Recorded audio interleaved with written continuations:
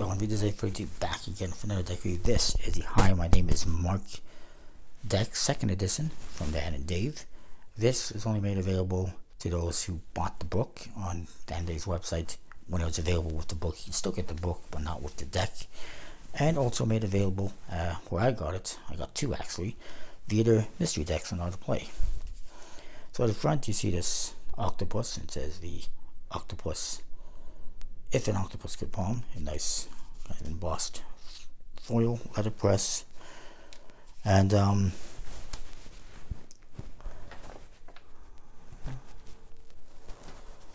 and just bear with me a second. I know I got something written down for this. I think. Maybe not. Actually, I probably don't. But anyways, it is what it is. It's a nice tuck case interesting artwork. Nothing on the sides, looks like there's a bit of damage here. Little Dan and Dave logo on the bottom, embossed foiled. In the back is a window, cutout, die cut, so that you can see the artwork. Flap, you got a little trademark stuff in 2020. Illustrations by Jonathan Burton.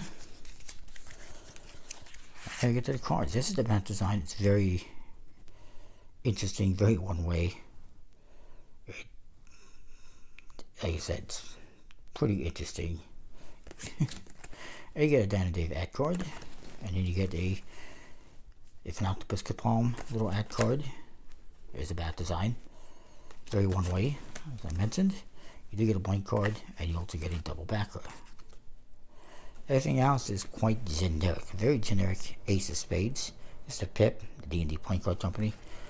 You do get kind of a brownish goldy color for the hearts and diamonds, or rust type color, I guess, almost. Kind of, I don't have the best lighting here at the moment, but, or is it orangey? But standard artwork, fairly standard deck. It's a little bit disappointing.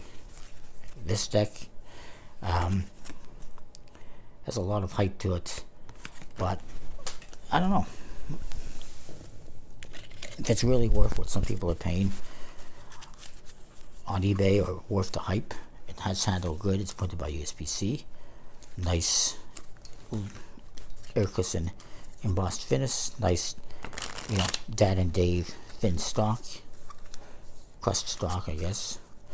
And yeah, overall, it's pretty interesting. It's a nice tuck case. But I'm going to give this one like a B minus. It's, it's just a lot of hype, but there isn't really much substance to it. So that is that. Uh, comment, uh, like, subscribe. Let me know what you think, and we'll see you next time more. Thanks for watching.